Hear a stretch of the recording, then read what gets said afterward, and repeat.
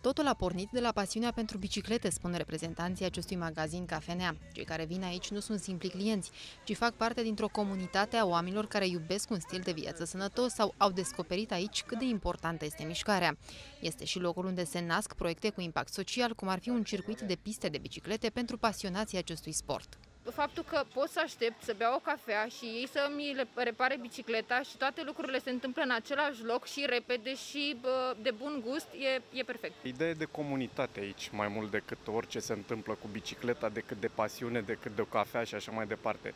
Uh, e un grup care uh, se implică și la nivel de localitate, ca să zicem așa. Oamenii se întâlnesc, vin, fac propuneri, se gândesc cum putem să fim o comunitate mai bine închegată, să găsim soluții la problemele pe care le are Craiova și ceea ce mă bucură foarte mult. Un mix de cafenea, bicicletă, reparație, vânzare, hotel, biking, un social uh, bike shop suntem de fapt noi. Până la urmă important uh, a fost să uh, înființăm o comunitate, de fapt să o descoperim, să ne descoperim, cei cu aceeași pasiune să ne adunăm la oaltă și să facem lucruri interesante, lucruri pe care le-am și făcut.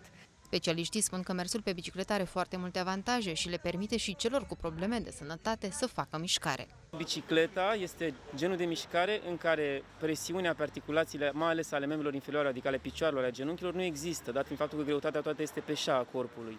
Prin urmare, ca și diferență foarte clară între ciclism și alergare, este că dacă la alergare presiunea este foarte mare pe genunchi și pe glezne, la ciclism presiunea este destul de mare doar pe șezut. Chiar dacă ne aflăm în continuare în plină pandemie de coronavirus, reprezentanții cafenelei spun că nu au resimțit impactul negativ al acestei perioade, tocmai pentru că au clienți deja fidelizați. Am avut un ghișeu aici și am vândut uh, cafeaua la to go inițial, uh, am avut uh, serviciul deschis în permanență, Uh, oamenii veneau, își lăsau bicicletele, noi le reparam, îi sunam, uh, de fapt cum procedăm noi de obicei, iar lucrurile au mers foarte bine anul acesta. Vânzările chiar au fost ok, deci oamenii sunt din ce în ce mai dornici, iar lucrul ăsta nu a, nu a făcut decât să-i ajute sau să-i încurajeze.